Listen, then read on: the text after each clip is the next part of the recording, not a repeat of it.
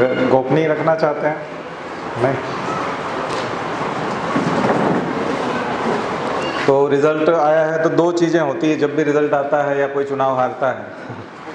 या चुनाव के जब रिज़ल्ट आते हैं, परीक्षा के रिज़ल्ट आते हैं तो दो चीज़ें होती हैं। मंथन होता है, कहते हैं हम लोग मंथन करेंगे, चिंतन करेंगे।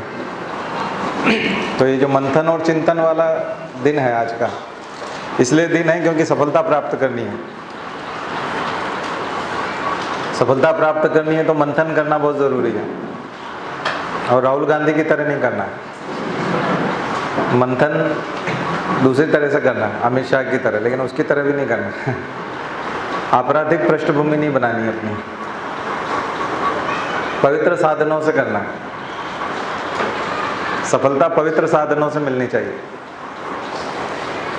साध्य पवित्र है तो फिर साधन भी पवित्र होना चाहिए, गांधी कहते हैं। तो राजनेताओं से तो प्रेरित नहीं होना, लेकिन हम लोग क्या करें? सफलता कैसे प्राप्त करें? इसलिए चिंतन करना ज़रूरी है, क्योंकि कुछ लोग सफल नहीं हो रहे हैं। तो जब सफल नहीं हो रहे हैं तो दो तरह की दिक्कत होती है। एक तो प्रयास ठीक से नहीं हुआ, और जो प्रयास हो रहा है, उसमें भी जब टंकी नहीं भर रही है तो दो कारण हो सकते हैं। एक पानी की टंकी में लीकेज हो सकता है। और दूसरा हो सकता है कि आपने उसको भरना चालू नहीं किया ठीक से। बहुत धीरे, धीमी गति से भर रहे हैं। भरने की स्पीड बढ़ा दी और अगर उसके लीकेज बंद नहीं किए तो भी नहीं भर पाएगी। दो ही कारण होते हैं। तो सिविल सर्विसेज़ की तैयारी के साथ में जो हम आपसे बात करते हैं, व्यक्ति निर्माण, या व्यक्तित्व निर्माण पर्सनालिटी डेवलपमेंट व्यक्तित्व विकास, उसका हिस्सा है।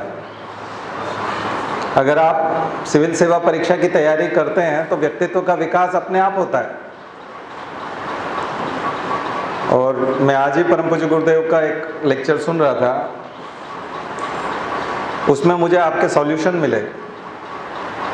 सीधा सीधा मुझे ऐसा लगा कि आपके लिए बात कही जा रही है। वो बात कर रहे हैं साधना की, स्वाध्याय की, संयम की और सेवा की। चार मूल्य मुख्य बिंदु हैं। साधना, स्वाध्याय, संयम और सेवा। सेवा आपका लक्ष्य है, उसी के लिए आप जा रहे हैं। इसलिए यदि आप सेवा की तरफ़ बढ़ रहे हैं और सिविल सेवा परीक्षा में बैठ रहे हैं, यानी आप सेवा की तरफ़ बढ़ रहे हैं तो बढ़ते समय इन तीन चरणों से गुजरना पड़ेगा, साधना, स्वाध्याय और संयम। तो साधना किसकी करें? साधना स्वयं की करना है, स्वयं को साध लेना है। और स्वयं को यदि नहीं साधेंगे तो फिर लक्ष्य तक भी नहीं पहुँच पाएँगे। तो स्वयं को कैसे साधना है कि कितना साधना है कि लक्ष्य तक पहुँच जाए? तो हम की चूँकि मनुष्य हैं तो मनुष्य होने के नाते हमारे पास बहुत सारी अपरिमित संभावना है, बहुत सारी शक्तियाँ हैं। तो उन शक्तियों का सुनियोजन सुनियोजन, उनका सदुपयोग, वो यदि हम करें तो उसको साधना कहते शक्तियाँ तो मिली हुई है। हमको मिला हुआ है हीमोग्लोबिन 14 से 16 वाला आप टेस्ट कराएँगे अपना हीमोग्लोबिन तो 14 से 16 मिला हुआ है, जो एक स्वस्थ मनुष्य के लिए आवश्यक है। अपना आईक्यू टेस्ट कराएँगे तो आईक्यू ठीक है। आँख टेस्ट कराएँगे तो आपको दिखाई देता है। ये दिखाई देने की शक्ति है, सुनाई देने की शक्ति है, याद करने की शक्ति है। इसका मतलब शरीर समृद्ध है, याद करने में, पढ़ाई करने में। तो जब हमको ईश्वर के द्वारा, प्रकृति के द्वारा इतना ज़बरदस्त शरीर मिला हुआ है तो क्या कारण है कि हम उसके कारण सफलता नहीं प्राप्त कर पा रहे? उसको माध्यम नहीं बना पा रहे। इसी को धर्म माना गया है। धार्यति इति स धर्म। जो धारण किया जा सके, वो धर्म है। और शरीर से खलु धर्म साधनम। शरीर ही धर्म का साधन करने का माध्यम है। धर्म इसी के माध्यम से आप धारण कर सकते हैं, शरीर के माध्यम से। इसका मतलब यदि आप किसी से कहते हैं कि मैं सिविल सेवा परीक्षा की तैयारी कर रहा हूँ तो आपका धर्म हो जाता है कि आप तैयारी करें। और अगर आप तैयारी नहीं कर रहे हैं, लापरवाही कर रहे हैं तो आप धर्म का पालन नहीं कर रहे हैं। आप अपने धर्म से विचलित हो रहे हैं। आपका धर्म हिंदू या मुस्लिम नहीं है। अगर आप सिविल सेवा परीक्षा की तैयारी कर रहे हैं तो आपका धर्म, इस परीक्षा की तैयारी करना आपका धर्म। है क्यों? आप यही कहते हैं। जब कोई कहता, मैं पुलिस में हूँ तो दूसरों लोगों की सेवा करना, उनकी रक्षा करना, ये उसका धर्म है। जब कोई आर्मी में होता है तो देश की रक्षा करना उसका धर्म हो जाता है। तो जिस पोस्ट पे होते हैं, जिस काम को हम कर रहे होते हैं, वो हमारा धर्म हो जाता है। इसलिए कर्म को पूजा कहा गया है। कई अधिकारी जो है, वो पूजा करते हैं बहुत लंबी लंबी तो आज ही मैं क्लास में बता रहा था कि 11 बजे जो है, वो किसी को फ़ोन लगाते हैं कलेक्टर साहब को तो बोलते हैं, अभी पूजा में बैठे हो। लोग आ गए साढ़े दस बजे उनके कार्यालय में, काम लेके। और साहब कहाँ बैठे हुए हैं? पूजा तो हमारे कुछ मित्र हैं जो आई हैं, वो उनसे जब हम बात करते हैं तो उनसे मैं कहता हूँ कि आप पूजा पाठ नहीं करते, ध्यान नहीं लगाते, ये नहीं करते। बोले, हम ऐसा कोई काम ही नहीं करते कि हमको पूजा पाठ करना पड़े। बोले, ध्यान हमारा हमेशा काम में ही रहता है। ध्यान कभी भटकता ही नहीं है, ध्यान लगाने की ज़रूरत ही नहीं है। मेडिटेशन की क्या ज़रूरत है? चौबीसों घंटे ध्यान काम में ही रहता है। कोई काम खराब नहीं होता हमारा। और हम 24 घंटे में कोई ऐसा काम नहीं करते कि भगवान की मिन्नतें करनी पड़े। हम काम ही ऐसा करते हैं कि ऐसा लगता है कि भगवान हमारे साथ है और हर पल वो सहयोग कर रहा होगा क्योंकि भगवान का ही काम है। गरीबों का काम करते हैं, सेवा का काम करते हैं। तो ईश्वर को सहायता करनी है, मजबूरन करनी है। उसको कॉन्फिडेंस रहता है कि ईश्वर जहाँ कहीं पे भी होगा, सब काम छोड़ के पहले हमारी सहायता करने के लिए आएगा। ये कॉन्फिडेंस भक्त में रहता है। अगर भक्ति का स्तर उस स्तर पर हो तो आपको पास कराने के लिए भगवान को आना पड़ जाए। तो आपकी मेहनत का स्तर उस तरह का हो तो वो आ जाए। साधना उस तरह की होती तो हो जाता है। केवल उपासना से नहीं होता। हम लोग क्या उपासना करते हैं? उपासना भी ज़रूरी है। भगवान का नाम लेना भी ज़रूरी है। भगवान के पास बैठना भी ज़रूरी है। अच्छी बात है। लेकिन उपासना, जो भगवान किससे हम अगरबत्ती लगा करके जो विनती करते हैं वो एक नौसिखिया व्यक्ति जो होता है, बचपन में जो बच्चा वॉकर से चलता है, जो सीधा अपने पैरों पे खड़ा होकर नहीं चल पाता, वो वॉकर से चलने जैसा है, तस्वीर लगा करके फिर साधना करना। ये सगुण भक्ति धारा जो है, ये भक्ति मार्ग कहा गया है। लेकिन जब आप निर्गुण भक्ति धारा में आते हैं तो ज्ञान मार्ग हो जाता है। ज्ञान के माध्यम से आप ईश्वर को प्राप्त कर लेते हैं। भक्ति के माध्यम से नहीं, ज्ञान के माध्यम से। तो आपकी तैयारी और सिविल सर्विसेज़ की परीक्षा और उसके बाद जॉब, ये ज्ञान मार्ग का साधन है। और ज्ञान को माध्यम बना करके आप कर सकते हैं। तो अब कैसे करना है? आज अगर आप ध्यान से सुनेंगे तो अपनी ज़िंदगी को बदल सकते हैं। अगर बदलना है तो बदल दीजिए, नहीं बदलना है तो आप ही को दंड आप आप हँसी में उड़ा दीजिए आज की बात को। तो दंड किसको मिलेगा? हमको थोड़ी मिलेगा। हम तो वैसे भी माध्यम है। गुरु जी की बात बता रहे हैं आपको। उनकी बात है, इसलिए आपको बता रहे हैं। हमको कोई दोष नहीं लगेगा। दोष आप ही को लगेगा। और टूट सत्य हो। आपके जीवन पे लागू होगा। या तो आप प्राप्त कर लेंगे या फिर नहीं प्राप्त करेंगे। तो लक्ष्य तक पहुँचना है तो साधना कर लीजिए। खुद की साधना कर लीजिए। खुद को इतना साथ लीजिए प्रैक्टिस करिए। रिजल्ट्स देरी से आते हैं, बस ये बात ध्यान रखिए। प्रैक्टिस ज़्यादा करना पड़ती दो महीने, तीन महीने, कई बार तीन तीन महीने तक कोई असर ही नहीं दिखता है। कई लोग थक हार के जब बिल्कुल सफलता प्राप्त होने वाली है या लक्षण दिखने वाले हैं, तब जाकर के बंद कर देते असर आने वाला है, तब बंद कर देते हैं। अनवरत करनी पड़ती है, पीछे पड़ना पड़ता है। घर वालों को लगने पड़ जाए। दूसरे लोग प्रार्थना करें आपके लिए, अरे भाई इसको सफलता मिल जाए, इसकी मेहनत देख के रहा नहीं जाता। हम काँप उठते हैं। इतनी ज़्यादा मेहनत है, इसकी इतनी ज़्यादा साधना है कि हम सोच भी नहीं सकते। इस व्यक्ति को सफलता मिल जाए। लोग आपके लिए मंदिर जाएँ, आप क्यों जाएँ? आपके करीबी लोग जाएँ, आपके आसपास वाले जो आपको देखें वो मंदिर जाने के लिए बाध्य हो जाए आपके लिए। आपके लिए दुआ करें कि इसकी मेहनत नहीं देखे जाती। उस स्तर की साधना होती तो सफलता आती है। कुछ लोगों की अनवरत साधना बचपन से है, इस वजह से आसानी से उनको मिल जाती है, लेकिन आसानी से नहीं है। उनका लाइफ स्टाइल ही कोई है। पढ़ाई जो है, उन्होंने लाइफ स्टाइल का हिस्सा बना लिया। हमने एक ऐसा मित्र देखा था जिसकी सफलता बहुत आसानी से मिली। लेकिन जब हम टेबल टेनिस खेलते थे तो मैं उसको बुलाने के लिए जाता था तो उसको ये आधे घंटे के लिए घड़ी देख करके छूट मिलती थी, घर से। भाई, आप साढ़े छः बजे जा रहे हो, सात बजे आ जाना। और वो सात बजे फिर टेबल पे होता था पढ़ाई की एक अनुशासन था। तो उसको छूट भी मिली तो उस तरह की छूट मिलती थी। अब ऐसा अनुशासन हम लोग डेवलप कर सकते हैं क्या? हम समय को कितना व्यर्थ गंवाते हैं।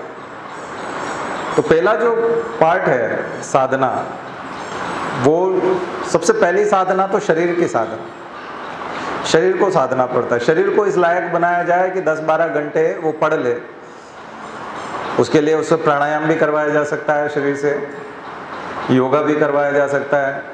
खाना भी उस स्तर का खिलाया जाए उसको जिससे उसको नींद ना आए। खाना अगर आप चेंज करेंगे तो चेंज जो खाना हुआ है, उसका असर आते आते पंद्रह दिन लग जाते एक दिन में असर नहीं आता। पहले से जो आप खाते रहे हैं, उसका असर जाने में पंद्रह दिन लगता है। और नया खाना शुरू किया है, उसका आने में सात आठ दिन लगता है। ऐसा करके बीस इक्कीस दिन का समय लगता है। खाने के माध्यम से शरीर को साधने में। इसलिए इसकी अपेक्षा एक दिन में या दो दिन में नहीं करनी चाहिए। तो खाना उस स्तर का दिया जा सकता है कि वो ज़्यादा काम करे। आप ज़्यादा सलाद खा सकते हैं, ज़्यादा फल खा सकते हैं। कार्बोहाइड्रेट कम से कम खाएँगे तो नींद कम आएगी। फेट वाला खाना, तेल वाला, घी वाला खाना कम कर सकते हैं। शुगर को और नमक को कम कर सकते हैं। और आप कहेंगे कि नहीं, इनकी क्या ज़रूरत है? अभी हम स्वस्थ हैं तो फिर वो अद्वितीय क्षमताएँ जो हैं, ये भीड़ है। इतनी बड़ी भीड़ है और कंपटीशन इतने हज़ारों लोगों का है, लाखों लोगों का कंपटीशन है।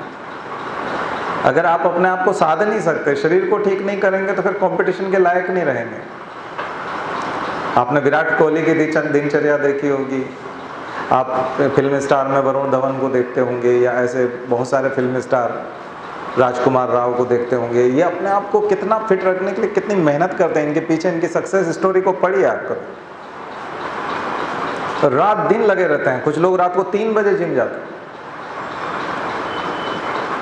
क्यों? क्योंकि वो मार्केट में बने ही नहीं रहेंगे। तो आप क्या समझते हैं? आप इतनी टफ कंपटीशन को दे रहे हैं और आप सहज रूप से लापरवाही करते हुए, मनमानी करते हुए सक्सेस हो जाएँगे। किसी कीमत पे नहीं हो सकते। लोग तैयार हैं। आप कुछ भी खा करके अपनी सफलता पे पहुँच जाएँगे। नहीं पहुँच सकते। कुछ भी खा करके नहीं पहुँच सकते। साधना करनी पड़ेगी खुद की। व्यायाम करना सिखाना पड़ेगा। एफिशिएंसी बढ़ानी पड़ेगी। अभी आप चार घंटा, पाँच घंटा पढ़ते हैं, सर दर्द होने लगता है। तो योगा शुरू कीजिए। सात घंटे पढ़ने लग जाएँगे। दो तीन महीने बाद आठ घंटे की आ जाएगी। दो तीन महीने बाद नौ घंटे की हो जाएगी। ऐसे तीन तीन महीने का योगा बढ़ाएँगे। पहले आप आधा घंटा योगा करेंगे, फिर 45 मिनट तक योगा ले जाएँगे तो फिर 12 घंटे की एफिशिएंसी एक साल में डेवलप होगी। इतनी आसानी से नहीं होता। और जब आप ये 10-12 घंटे की एफिशिएंसी कर लेंगे और 10-12 घंटे भी कौन से होशो हवाश में पढ़ाई होश के साथ। यानी आपको सारा 12 घंटे तक समझ में आ रहा है, जो भी पढ़ा जा नींद नहीं आ रही मिस नहीं हो रहा है। उस स्तर की पढ़ाई करने के लिए फिर खाने में भी चेंज करना पड़ेगा। विचार में भी चेंज करना पड़ेगा। विचार संयम बोलते हैं उसको। विचारों का भी संयम करना पड़ता है। अगर आप कुविचार रखेंगे, दूषित विचार रखेंगे, गंदे विचार रखेंगे तो फिर लीकेजेस शुरू हो जाएँगे। फिर आप डिस्ट्रॉय कर लेंगे खुद को। फिर समस्याएँ खड़ी हो जाएँगी। फिर पीछे चले गए, वहीं के वहीं। आपने अच्छी बॉल की थी रन नहीं दिए, अगली बॉल वॉइड कर दी। या फिर कोई छक्का पड़ गया। अब आपका जो, सामने वाले का जो स्कोर रोकने का जो मसला था, वो बेकार हो गया। अब आप नहीं कर पाए। अब फिर स्कोर बढ़ गया उसका। अब दबाव आपके ऊपर, फिर से। एक एक बॉल पे जो है जीत हार हो जाती है। आप मज़ाक कर रहे हैं पढ़ाई के साथ। इसलिए आज का दिन अगर विचार करना है तो आज से नई दिनचर्या बनाइए, खुद के लिए शेड्यूल बनाइए। साधनात्मक जीवन जीने का एक मादा जगह ही है खुद में, खुद को बदलने का। और खुद को बदलने की बात नहीं सोचेंगे तो सफलता नहीं मिल सकती। सफलता मिलनी होती तो फिर मिल जाती। इस डर्रे पे, इन विचारों से, इस भोजन से, इस व्यवस्था से, इस इस तरह की साधना से, इस तरह की पढ़ाई के तरीके से, इस तरह से, जिस तरह से आप लिखते हैं उस तरीके से, नोट्स बनाने का तरीका अगर यही रखेंगे तो अगर होना तो होता तो हो जाता। तो अब तरीका बदलिए। सोचने का तरीका बदलिए, विचार करने का तरीका बदलिए, दोस्त बदलिए। जिन वेबसाइट्स को आप देखते हैं, उनको बदलिए। जो टीचर है टीचर को भी बदलिए। अगर टीचर सफल नहीं है तो डॉक्टर बदलते हैं कि नहीं हम लोग? अगर किसी डॉक्टर से ठीक नहीं होते तो क्या करते हैं? डॉक्टर ने बताया कि इस दवाई को इतनी बजे खाना और साथ में ये मत खाना। और आप उसकी बात नहीं मानते और तब बीमार हैं, तब तो डॉक्टर नहीं बदलना है, अपने आप को बदलना है। लेकिन डॉक्टर ने जो कहा, वो सारा किया और उसके बावजूद अगर आप ठीक नहीं हुए तो फिर डॉक्टर ही बदलना पड़ेगा, क्योंकि वो दवाई गलत दे रहा है या उसको समझ में नहीं आ रहा रोग। तो डॉक्टर को भी बदल सकते हैं। रोग तो ठीक करना पड़ेगा। तो ये जो साधना वाला पक्ष है, ये बहुत कठिन पक्ष है। इसके लिए थोड़ा सा विरोध भी हो सकता है। आपको चाहने वाले जो लोग हैं घर पे, जो आपके परिवार के लोग हैं, जब आप इतना सख्त निर्णय अपने लिए जब उठाते हैं तो वो भी काँप जाते हैं। तब कई बार वो आपको समझाते हैं कि नहीं नहीं, ये ये ठीक नहीं है। लेकिन सफल आपको होना है। दंगल मूवी देखी थी ना आपने? दंगल मूवी में जो आपने देखा कि उसने बच्चों के साथ में जिस तरह की शक्ति बरती थी, वो बच्चों को अखर सकती है, उस समय में अखर सकती है। लेकिन जब सफलता मिले तो श्रेय किसको जाएगा? उसी शक्ति को जाएगा। अब आपके सामने ऐसा गुरु या अपना, आपके सामने ऐसा पिता नहीं है तो खुद को गुरु बना लीजिए। खुद के ऊपर गर्व होने लगेगा भविष्य में, और खुद को ही आप गाली भी देंगे। देखिए, बिना बदलाव के होगा नहीं, ये बात तय है। आप ये ये मान के चलो कि आप एक सपना देखने लग जाओ कि गाड़ी होगी, बंगला होगा, ऐसी सैलरी होगी, ऐसा होगा। लेकिन हम इसी ढर्रे पे चलेंगे और वो आ जाएगा। कभी नहीं आएगा, पक्का, मान के चलिए, कभी नहीं आएगा। इस जीवन शैली से आएगा ही नहीं। बदलाव करना पड़ता है। बिना परिवर्तन के नहीं होता। और परिवर्तन जब करते हैं तो बहुत कुछ तहस नहस होता है। बसंत आने से पहले पतझड़ होता है। पूरे पत्ते झाड़ दिए जाते हैं। वृक्ष की हालत खराब हो जाती है। वृक्ष कैसा दिखने लगता है? बहुत कष्ट होता होगा पतझड़ में। जब नया बच्चा जन्म लेता है तो प्रसव पीड़ा होती है। और जब नए मकान बनाए जाते हैं पुराने को तोड़ के तो खंडर को ढहाया जाता है। नई चीज़ें जब भी होती है तो पीड़ादायक होती है। आसान नहीं होती। इसलिए यदि आपको पीड़ा महसूस नहीं हो रही शरीर में, मन में, खाने पीने में भी पीड़ा महसूस होनी चाहिए कि नहीं, मैं अपने मन की नहीं खा पा रहा हूँ। ये क्या खा रहा हूँ, मैं क्यों खा रहा हूँ? ऐसा लगना चाहिए। अगर ऐसा नहीं लग रहा और आनंददायक है और मन के अनुकूल है, इसका मतलब सफलता नहीं मिलने वाली। पक्की बात मान के चलिए। शरीर को कष्ट महसूस होना चाहिए कि मैं इतना सुला क्यों नहीं पा रहा हूँ ये सोना चाहता है, मैं तो सोने का समय नहीं दे पा रहा हूँ। आप सोच रहे हैं कि नहीं, आठ घंटा तो खूब नींद निकालेंगे, दिन में भी एक आध घंटा सो जाएँगे। खाना पीना भी मर्ज़ी से जब चाहेंगे तब जो मर्ज़ी आएगी खाएँगे। और फिर मुड़ होगा तो कभी किताब से खेल लेंगे, नहीं तो मोबाइल है। या कुछ एक दो वीडियो सुन लेंगे महापुरुषों के तो उससे जीत जाएँगे। कुछ नहीं होगा। ये आप अपने मन को बहला रहे हैं घर वालों को बेवकूफ़ बना रहे हैं, और जो आपके ऊपर खर्चा कर रहे हैं, उनके प्रति अपराध कर रहे हैं आप। कई लोग जो आपके ऊपर खर्चा करते हैं, वो अपना पेट काट करके करते हैं। बड़ी मुश्किल से आपको पैसा देते हैं, और एक सपने के साथ देते हैं।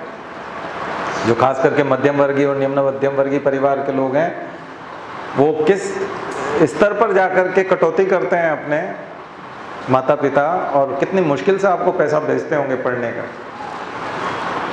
आपको अंदाज़ा जब आप पिता बनेंगे और परिवार में जब वरिष्ठ बनेंगे और दूसरों को मदद करनी पड़ेगी, तब समझ में आएगा। तो आप उनके प्रति अपराध कर रहे हैं, धोखा दे रहे हैं उन्हें इसलिए कष्ट में पहुँचे बिना होता नहीं। नवनिर्माण नहीं होता। नवनिर्माण के लिए कष्ट आता ही है। तभी परिवर्तन आता है। अचानक से नहीं आता। अचानक से जो परिवर्तन आते हैं, वो स्थायी भी नहीं होते। उनकी आलोचना होती है। उसको करप्शन भी कहते हैं। जो व्यापम में बने थे अचानक से।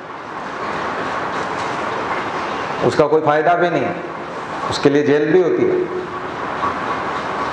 इसलिए पीड़ा उठा करके, कष्ट उठा करके, सतत अध्ययन करके जो सफलता प्राप्त होती है, वही मीठी होती है। और वही श्रेयस्कर भी होती है, उसी का श्रेय भी मिलता है।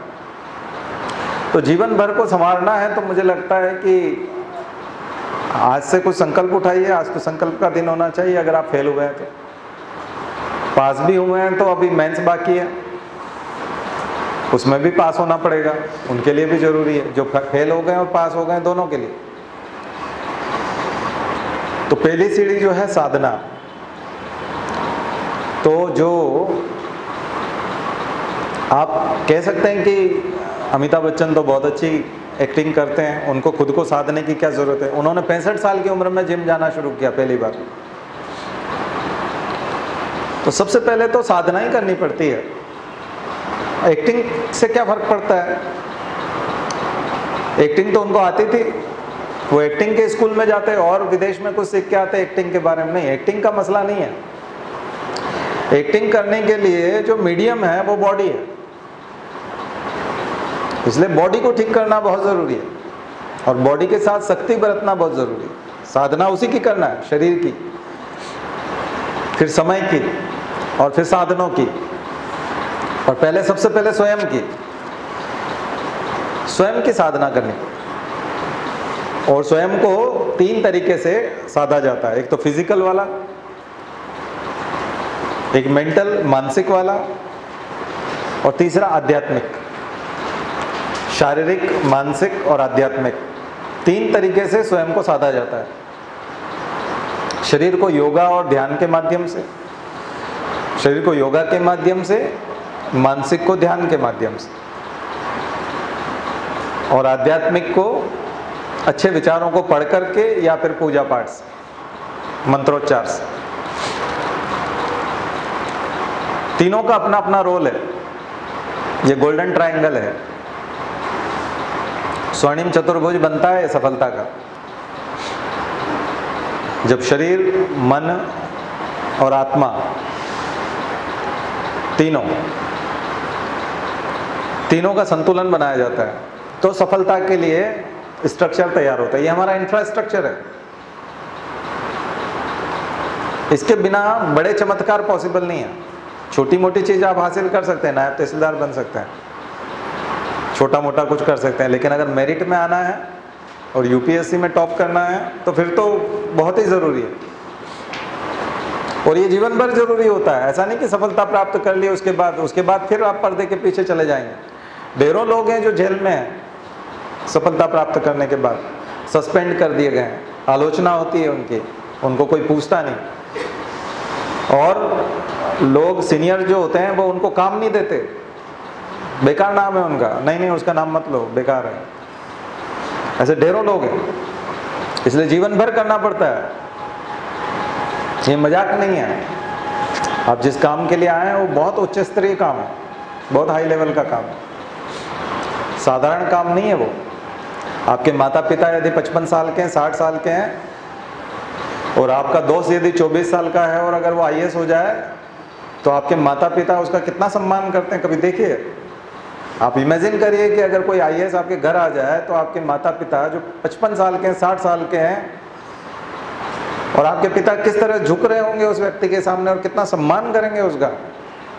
कि अच्छा ये इतना बड़ा आदमी है। आप सोचिए, अगर वही व्यक्ति आप बन जाए तो और अपने दोस्तों के घर जाएँगे तो उनके माता पिता आपके साथ कैसा व्यवहार करेंगे? इमेजिन करिए, ये कोई साधारण काम नहीं है। पूरी की पूरी व्यवस्था बदलने वाली है, प्रकृति बदलने वाली है। और आप सोचते हैं कि इतनी आसानी से मिल जाएगा, बिना कोई कंट्रीब्यूशन के मिल जाएगा, बिना मेहनत के मिल जाएगा। अपने आप को बदलना पड़ेगा पहले। तब परिस्थितियाँ बदलेंगी। नीचे किताब में बार बार बताता हूँ, मनस्थिति बदले तो परिस्थिति बदले। मन की स्थिति को बदलेंगे तो परिस्थितियाँ बदलेंगी। आप इंतज़ार कर रहे होते हैं कि परिस्थितियाँ बदल जाएगी तो हम फिर अपना मन को वैसा कर लेंगे। ऐसा कभी नहीं होता। परिस्थितियों को बदलने का इंतज़ार मत करिए। अपने मन को बदलिए परिस्थितियाँ अपने आप बदल जाएँगी।